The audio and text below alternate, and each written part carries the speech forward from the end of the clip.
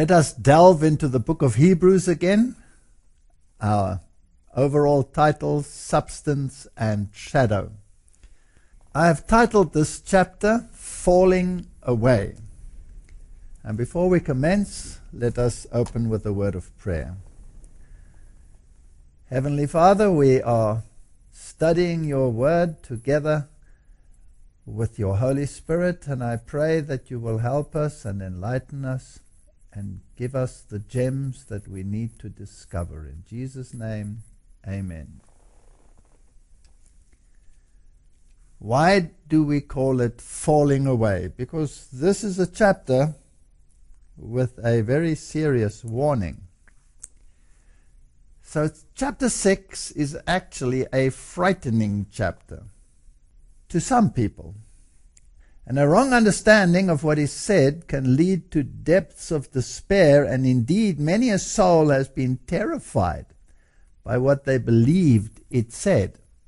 John Bunyan, one of them, at some time also despaired at these verses, but when he studied the history of God's people and the sins of the greatest of these, his hopes revived. So we have to be very careful because it is easy to take a verse wrest it from its context, and then use it to bludgeon people into submission and to create fear.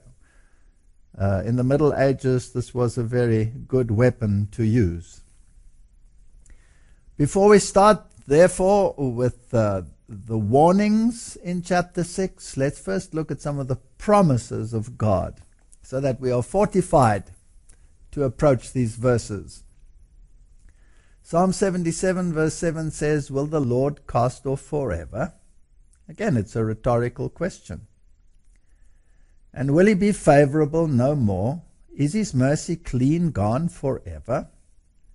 Does his promise fail forevermore? Has God forgotten to be gracious?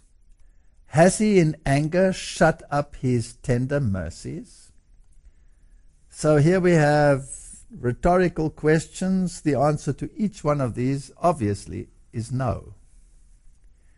And I said that in my infirmity, but I will remember the years of the right hand of the Most High. I will remember the works of the Lord. Surely I will remember thy wonders of old. So sometimes we get into positions where things are not going well. And it is at those times that we tend to forget how God led us in the past.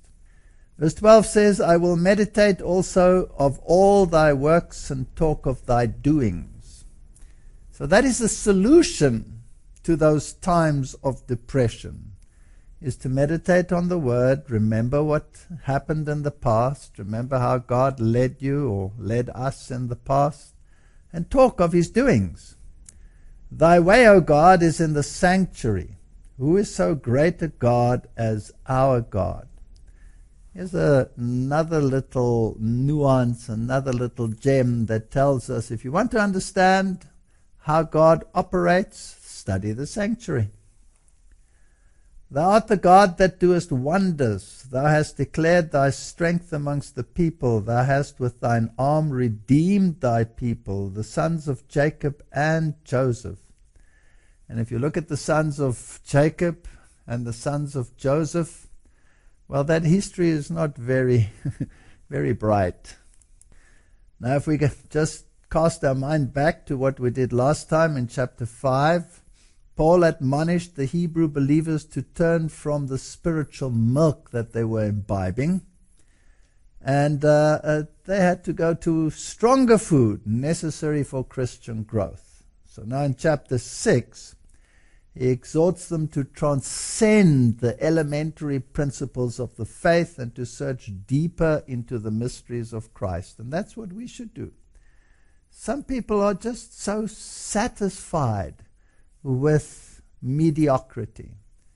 When there is a whole world to discover out there, they are quite happy to sit within a small circle of knowledge. So these opening verses are very interesting when we come to chapter 6. He says, Therefore, leaving the principles of the doctrine of Christ, let us go on unto perfection. Now, what does that mean? Leaving the principles of the doctrine of Christ. Should we neglect the principles of the doctrine of Christ? Obviously not. That's not what he's referring to. He's talking about the elementary principles the general things that we know, we shouldn't just stay there. They are important. They are like a foundation that you build on. You don't discard the foundation thereafter. You carry on with the building, but you must make sure that the foundation is sound. But you don't stay there, otherwise, you won't have a house. So, if we leave, we should leave those elementary principles of the doctrine of Christ and we should move on to perfection. In other words, there is more to discover, and perfection we find only in Christ. So we need to delve deeper. And then he says, not laying again the foundation of repentance from dead works and of faith towards God. Is there anything wrong with repentance from dead works? Absolutely not. So when you have discovered the truth, and you have repented of your sins and you have developed faith towards God, is that enough? Do we stay there? Of the doctrine of baptisms. Now, this word baptisms here is a unique word and it implies the washings, it implies maybe even uh, the baptism of John as practiced in the time of the Jews. So it is more than one particular baptism. The laying on of hands, this was a very prominent activity in the early church, and thereby authority was transferred. But you also laid hands on sacrificial animals, and of the resurrection of the dead, and of the eternal judgment. And this will we do if God permit. So basically, what Paul is saying in verses 1 to 3 is now that you've learnt the elementary principles of Christianity, now that you have realized that you have to repent from dead works, that you have to develop faith towards God, that you've gone through the baptisms and understand what all of these issues meant, the laying on of hands, have received the Spirit in order to enable you to preach Christ effectively.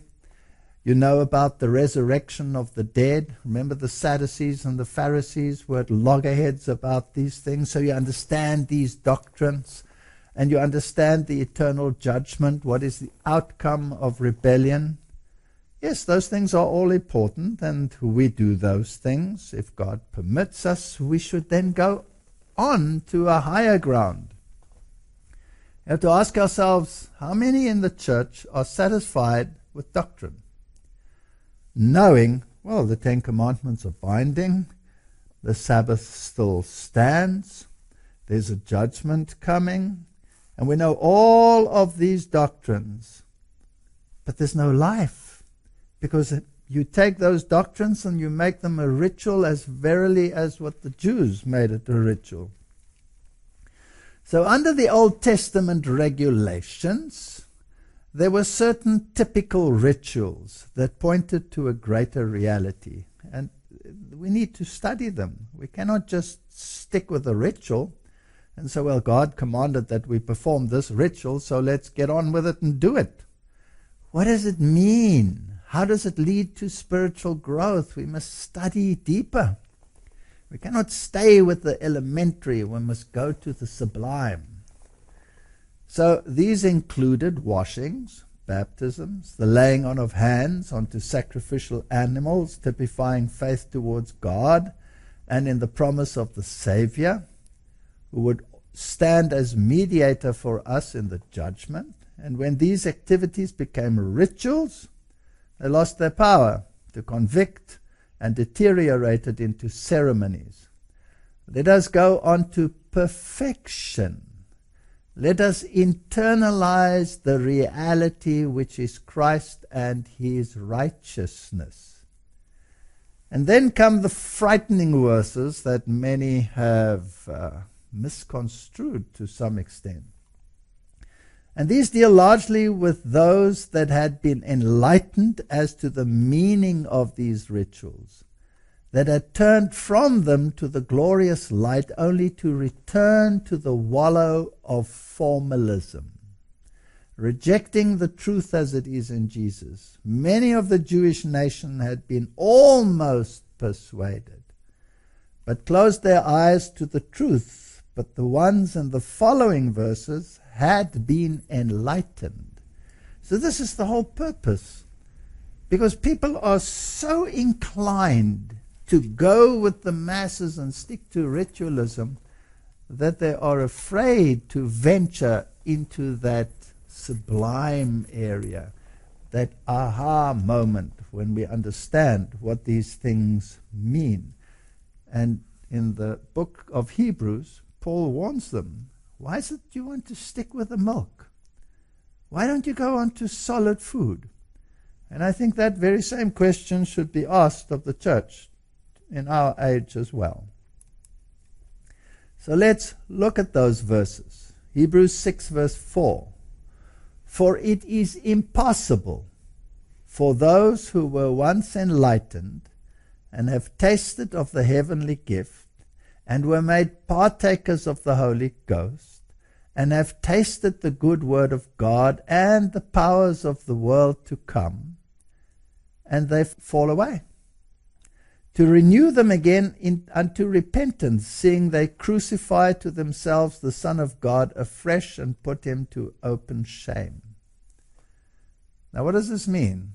It is impossible for those who were once enlightened. In other words, he's not talking to ignorant people, he's talking to people that were once enlightened. They received a knowledge of the truth. Not only did they receive it, they tasted of the heavenly gift. In other words, they partook of the outpouring of the Holy Spirit. So some of those early Christians that had come out of Judaism, that experienced the Pentecost experience, and were made partakers of the Holy Ghost, they had been part and parcel of it, and have tasted the good word of God. They were preaching it and the power of the world to come. They had exercised that power, trampled on scorpions, as it were. If they shall fall away. Now, is it possible? Well, we spoke about it last time. Even the disciples, even the disciples that had been enlightened, that had tasted the heavenly gift, that had been partakers of the Holy Ghost, that had tasted the good word of God. In other words, they had internalized Christ. They had been with him for three and a half years and had exercised the powers of the world to come.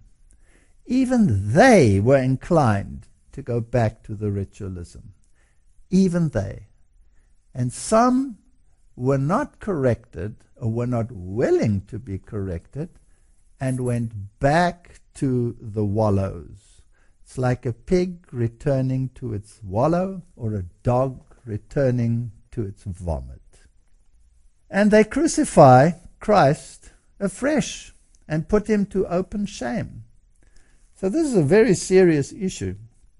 It can happen, and it can happen to all of us. And many, many in the church today are in the same position. Their religion has become a ritual. You go to church on a Sabbath, you believe in the resurrection, you believe all of these things, but you haven't internalized what it really means. So, if we had to sum it up, in my own words, I would say they had been enlightened. We understand that from the verses. They were partakers of the outpouring of the Spirit. They had been convicted of sin, righteousness, and judgment. They had experienced the power of the gospel. They had tasted the word of God, but sadly they had not internalized it. And when the Spirit pleaded with them, they returned to the formalism of rites and ceremonies, denying the power thereof. So, in other words, they clung to the shadow, denying its substance. They fell away. It's not good enough to have a head knowledge. If that head knowledge is not applied to the heart, then we are in serious danger. There is a vast difference between falling and falling away. And this is where our hope lies. We must remember that the words that Paul used in those verses is falling away. But there is a vast difference between falling and falling away. For example, Moses fell, Jacob fell, Samson fell, David fell, Solomon fell, Peter fell, and I could go on endlessly with that list, but they did not fall away. And that is the crux of the matter. Their falling was temporary, falling away is permanent. Then it becomes impossible to come back because you have crucified Christ again. So we need to understand the difference between falling and falling away. Those who fear that they fall into the category of these verses show sure signs that they do not apply to them. When conscience is silent, then we should fear. Let me give you an example. I once had a young lady that came to me and said that her life was over, it was finished. She had committed the sin against the Holy Spirit and was lost for all eternity. She had fallen away. I asked her why she felt like that, and she wanted to tell me, and I said, No, I don't need to know the details. I'm not a priest that needs to be confessed to. But why do you feel that you have gone too far? No, she went too far in whatever it was that she felt she transgressed in. And so I said, and, and you feel bad about it? And she said, Yes, I feel incredibly bad about it. And I feel that I am lost. And I said, Well, the very fact that you feel so bad about it means that you are not lost. Because it means that the Holy Spirit is still speaking to you. And if the Holy Spirit is still speaking to you, then you have not committed the sin against the Holy Spirit. In any case, the sin against the Holy Spirit is saying that that which is from God is from the devil. So, to a large extent, some of the religious leaders in the time of Christ, when they accused him of being of the devil and performing his works by the power of the devil, they were dancing on the edge of the sin of sinning against the Holy Spirit. So, in other words, if you say that that which is from God is from the devil, that is where your danger lies. So she had not fallen away, she had fallen. But so had Moses, and so had Jacob, and so had Samson, and so had David, and so had Solomon, and so had Peter, etc. So we need to understand what these verses actually mean, because God does not contradict himself. With him there is an abundance of forgiveness. Psalms 130, verse 3 says, if thou, Lord, should mark iniquities, O Lord, who shall stand? Then nobody would be saved. But there is forgiveness with thee, that thou mayest be feared. I wait for the Lord, my soul doth wait, and in his word do I hope. My soul waiteth for the Lord more than they that watch for the morning. I say more than they that watch for the morning. Let Israel hope in the Lord, for with the Lord there is mercy, and with him is plenteous redemption. So we must balance the Word of God with the promises, the warnings and the promises. Now, the promise is not an excuse for sin. But if you take the sin of David, for example, I mean, that was a pretty drastic sin. Not only did he commit adultery, he committed murder. And he contemplated on his bed how to commit this murder and get away with it. It was a most heinous crime. But he repented with a real, real repentance, a sorrow for his sin. And the Lord did not mock his iniquity. Did he sit with consequences? Yes, he did. It affected his entire reign. But nevertheless, his iniquity was not mocked against him. So John Bunyan was once perplexed by these verses in the book of Hebrews, and he writes in his book, Grace Abounding to the Chief of Sinners. Now began my heart again to ache and fear I might meet with disappointment at last. Wherefore I began with all seriousness to examine my former comfort, because he had become relaxed in his Christianity, and to consider whether one that had sinned as I had done might with confidence trust upon the faithfulness of God, laid down in those words by which I had been comforted and on which I had leaned myself. But now were brought those sayings to my mind, for it is impossible for those who were once enlightened, who have tasted the heavenly gift, and were made partakers of the Holy Ghost, and have tasted the good word of God, and the powers of the world to come, if they shall fall away, to renew them again unto repentance. Quoting here Hebrews 6, verses 4 to 6. So these great reformers, they all went through the same situations as any Christian following in their footsteps.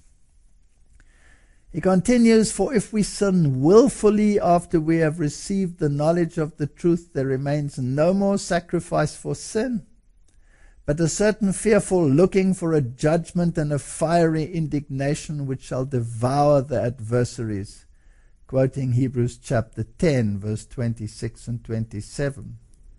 As Esau, who for one morsel of meat sold his birthright. For you know how that afterwards, when he would have inherited the blessing, he was rejected. For he found no place of repentance, though he sought it carefully with tears. And he's quoting Hebrews chapter 12. So he's mulling these verses over in his mind. And then came the thought Will the Lord cast off forever? And will he be favorable no more? Is his mercy clean gone forever? Does his promise fail forevermore? Has God forgotten to be gracious? Has he in his anger shut up his tender mercies? So, t- quoting the Psalms we just read. And uh, everybody goes through these struggles. Are there any more promises in Psalm 77? Will the Lord cast off forever? Will he be favorable more? Is his mercy clean gone forever? Does his promise fail forevermore? Has God forgotten to be gracious? Has he in his anger shut up his tender mercies? And I said, This is my infirmity. But I will remember the years of the right hand of the Most High.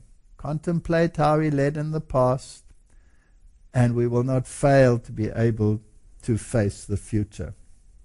Verse 11 says, I will remember the works of the Lord.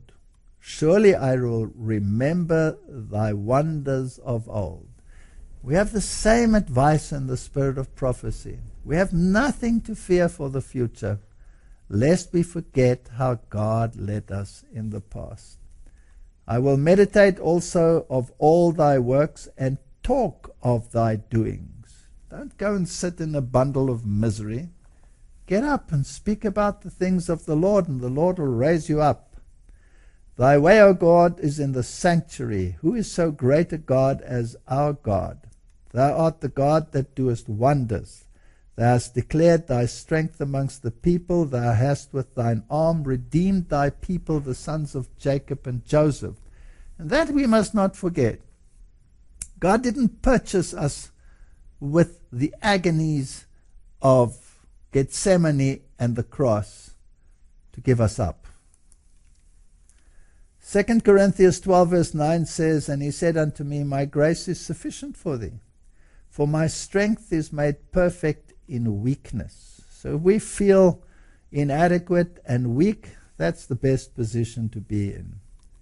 Most gladly, therefore, will I rather glory in my infirmities, that the power of Christ may rest upon me.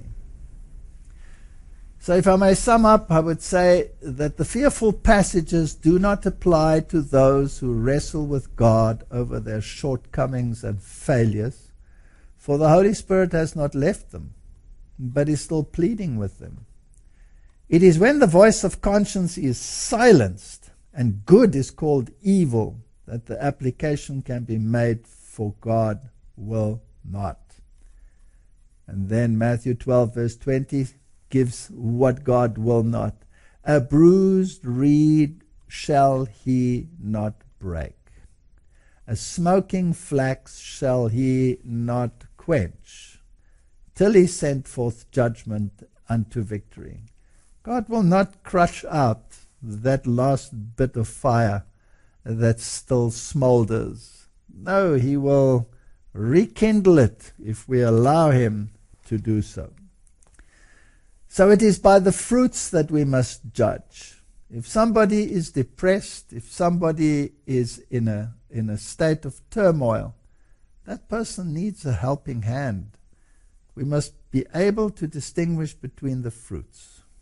So if we carry on with chapter 6, verse 7 in the book of Hebrews, we read, For the earth which drinketh in rain that cometh oft upon it, and bringeth forth herbs, meet for them by whom it is dressed, receivers blessing from God. So have a look how the plants grow and look at the growth of those that we wish to criticize or correct. But that which beareth thorns and briers is rejected and is nigh unto cursing, whose end is to be burned up. So is this herb that is growing, this plant, is it useful? Is it struggling? Does it bear fruit? Or does it bear thorns and briars? But, beloved, we are persuaded better things of you, and things that accompany salvation, though we thus speak. Even though he admonishes them, he also encourages them so he says, I'm persuaded that there are better things than what I have been complaining about, but, you know, just shake up. For God is not unrighteous to forget your work and labor of love, which you have showed towards his name, in that you have ministered to the saints and do minister. Yes, many of us minister and do good works, but good works are not going to get us to heaven alone. I'm not saying don't do the good works. Of course, do the good works.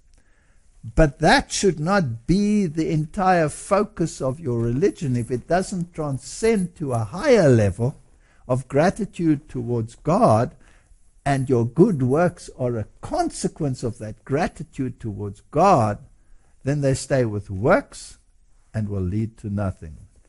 That's where the philanthropists in this world are that believe that they can continue to sin, even publicly sin, and then make good with philanthropy, that means nothing. Verse 11 says, And we desire that every one of you do show the same diligence to the full assurance of hope unto the end. So don't stop doing good works. Don't stop ministering to the, to the saints. Do what is right, but grow in your Christian experience. So faith and patience can alone inherit the promises. Only when Abraham had patiently endured did he receive the promise. Verse 15.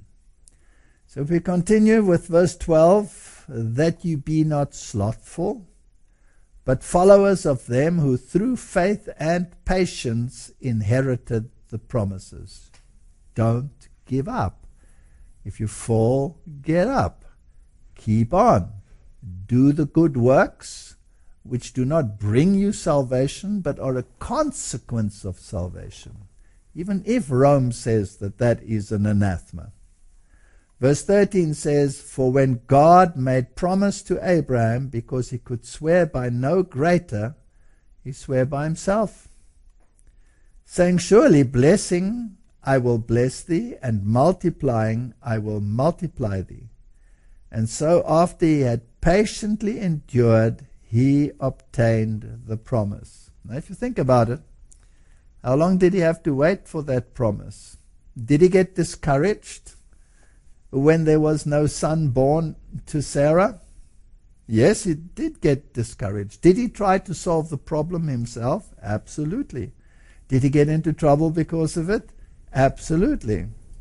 But eventually, the promise did come, even though he believed it was way too late because she was past childbearing.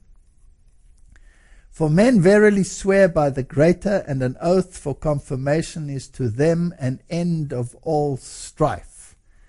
So when people on earth make an oath and say, I swear that this is so and so, or this and this will be done, then that is the greatest affirmation that they can give. But God swore by himself, and there can be nothing greater than that. When God, willing more abundantly to show unto the heirs of promise the immutability of his counsel, confirmed it by an oath. So, who does this promise for? Is it only to Abraham? No. It says to heirs of the promise. Now, who are the heirs of the promise. Those who have the faith of Abraham are heirs according to the promise. So this promise stretches all the way to spiritual Israel. It stretches to you and it stretches to me. So those that are rich and increased in goods and have need of nothing cannot comprehend the value of the promises.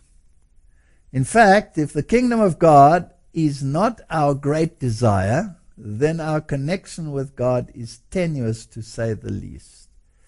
And uh, if you think about that, how many people, when you say, I believe Jesus is coming soon, will immediately answer, No, no, no, that's not going to happen. It's still a long way off.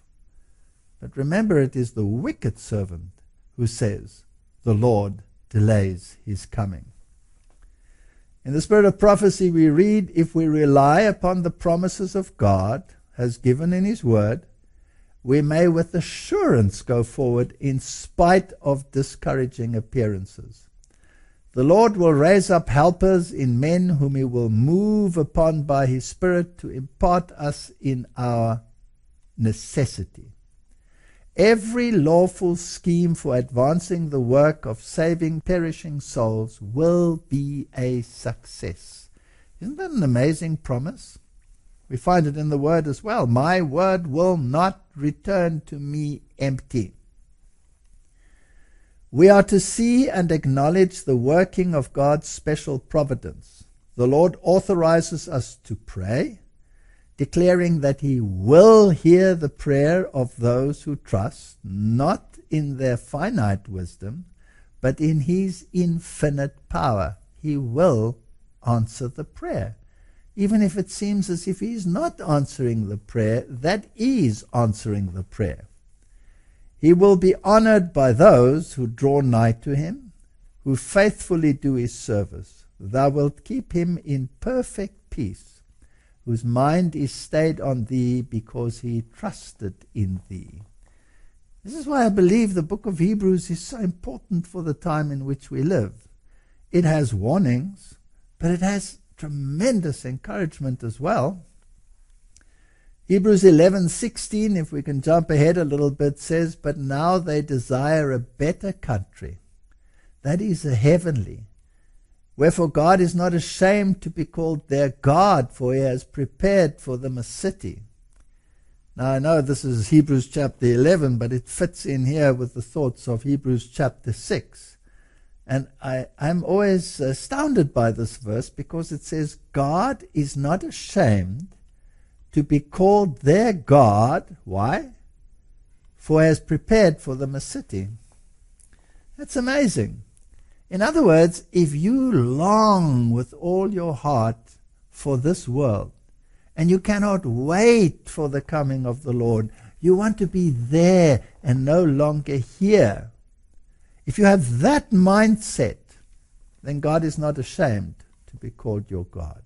That's quite an interesting one.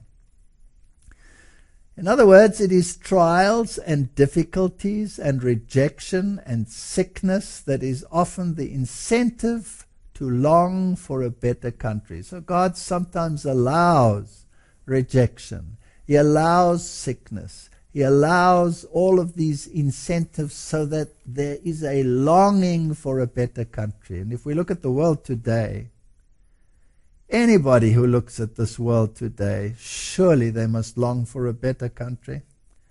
And why is it that they want to change this one into the country of their dreams when we can see it going to perdition? But love for God and His righteousness is a better motive. So, in other words, do you long for a better country because this one is just so miserable? Or do you long for a better country because you want to be with God? Nevertheless, to be stripped of worldly anchors is often what it takes to bring us to the better path. So basically, we can say, Oh, blessed loss that teaches us the value of true wealth. Sometimes we don't realize the value of true wealth until we lose wealth.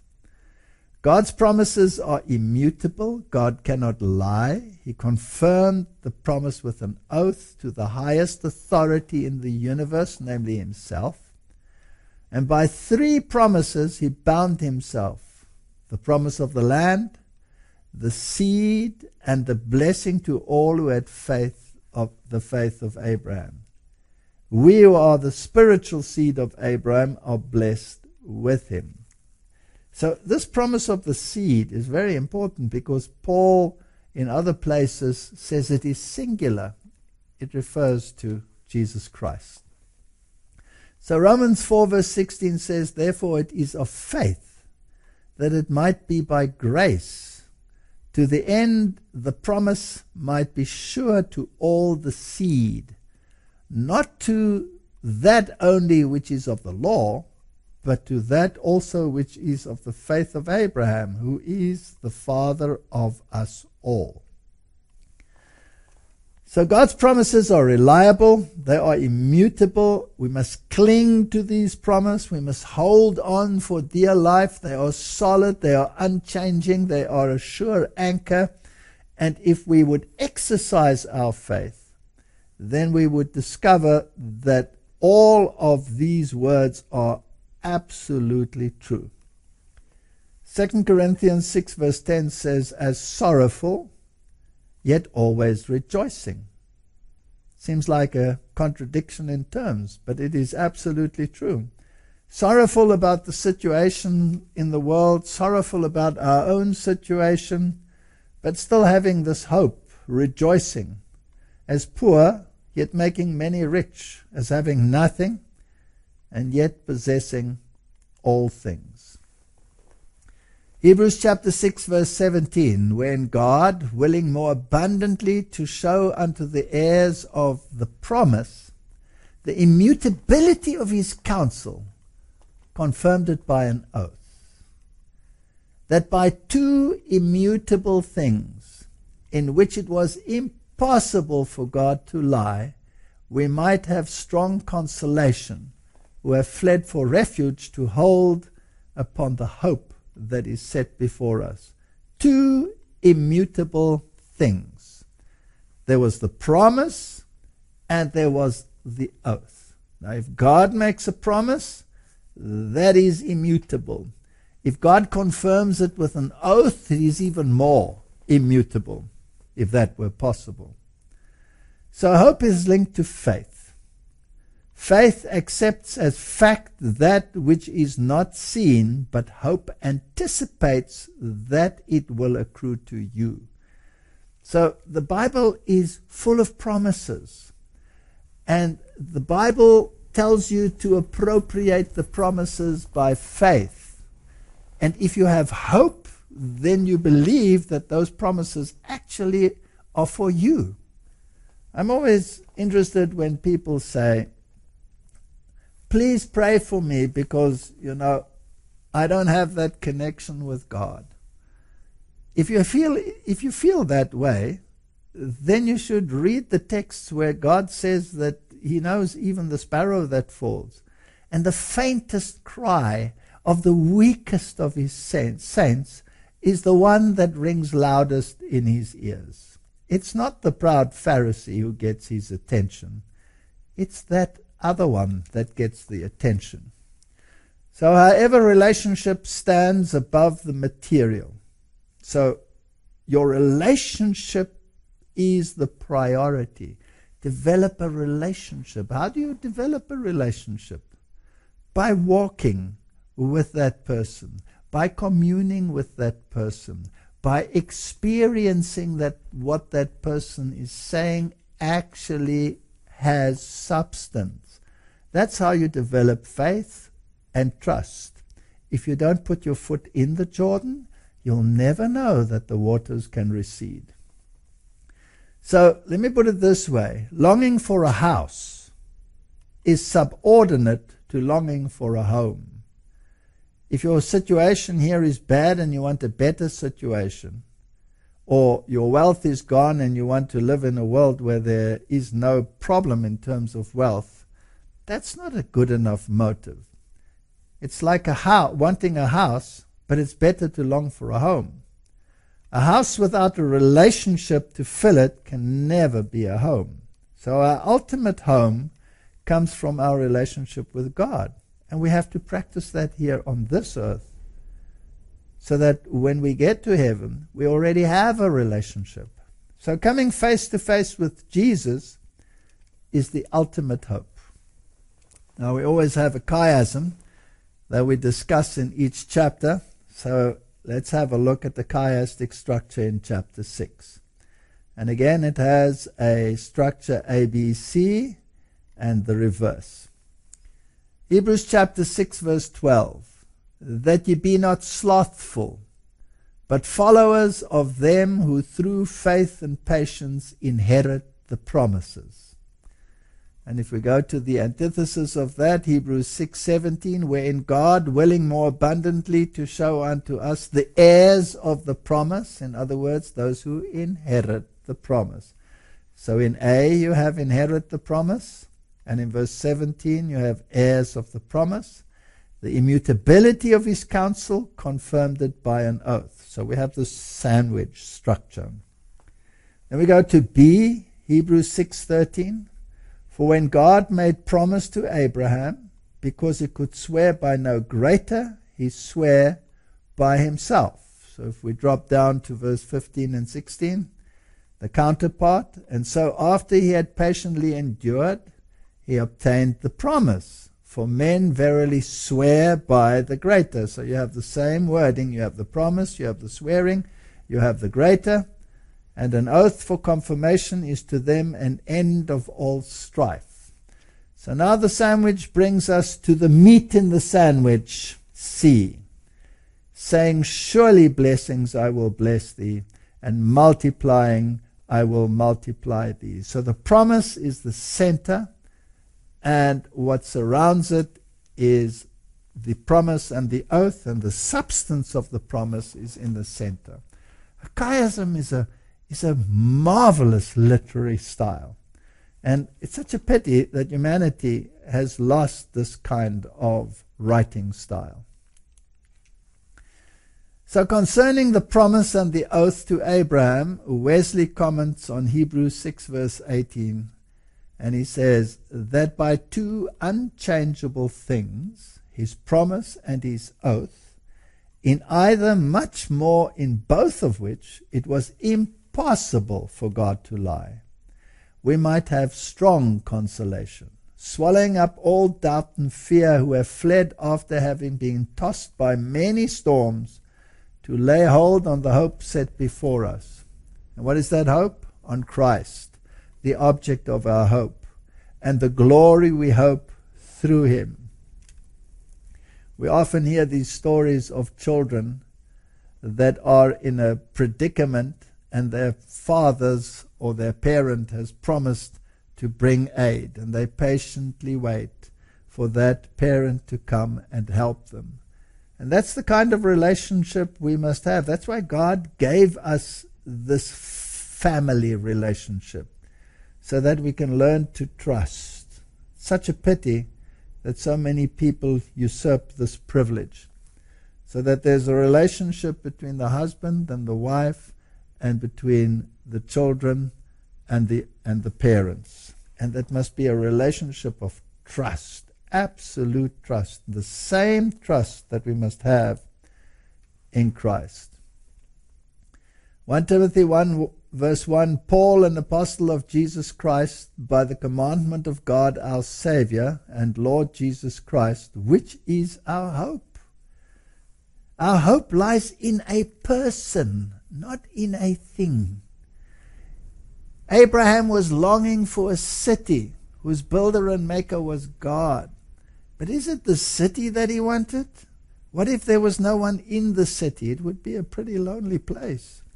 Now, our hope is with a person, and the whole object of the book of Hebrews is substance. And that substance is always Christ.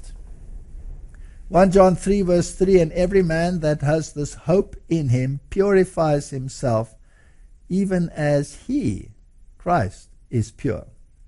Revelation 1 9 I, John, who also am your brother and companion in tribulation and in the kingdom and patience of Jesus Christ, was on the isle that is called Patmos. Why was he there? Listen carefully. For the word of God and the testimony of Jesus Christ. To the law and to the testimony. It will be exactly the same at the end we will be banished to the antitypical Patmos because we stand for the law and the testimony. James says, Be patient, establish your hearts, for the coming of the Lord draweth nigh. So we continue with Hebrews chapter 6, verse 19, which hope we have as an anchor of the soul. Be sure and steadfast and which entereth into that within the veil. In other words, you have direct access to the mercy seat of God. In the veil, come to the mercy seat of God. Come to the throne of grace. Confess your sins.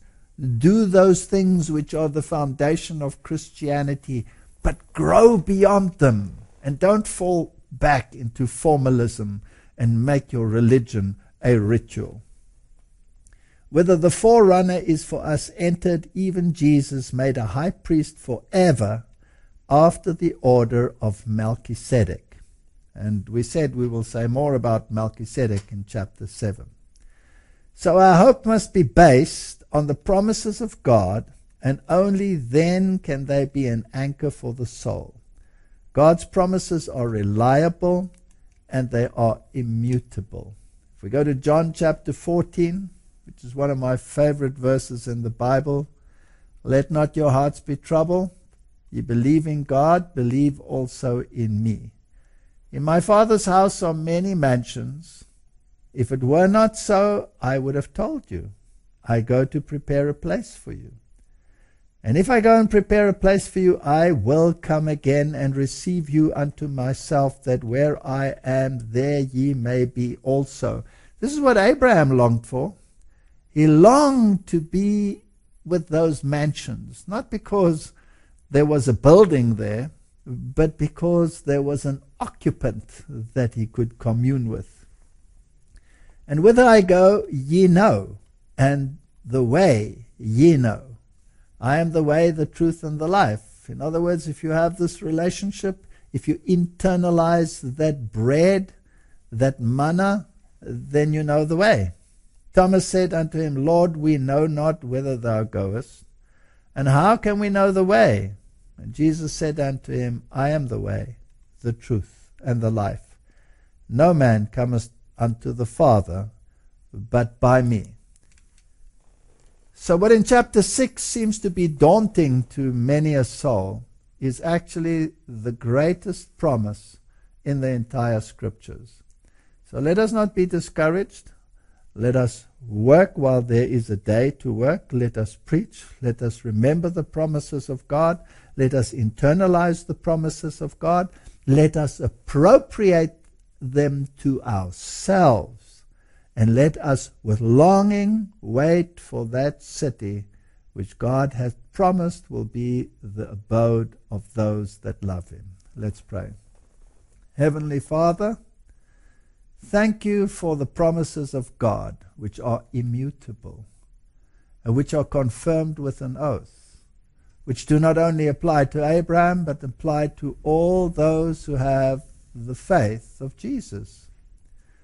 Help us to be faithful servants and to preach the message while there is still time and hope. In Jesus' name, amen.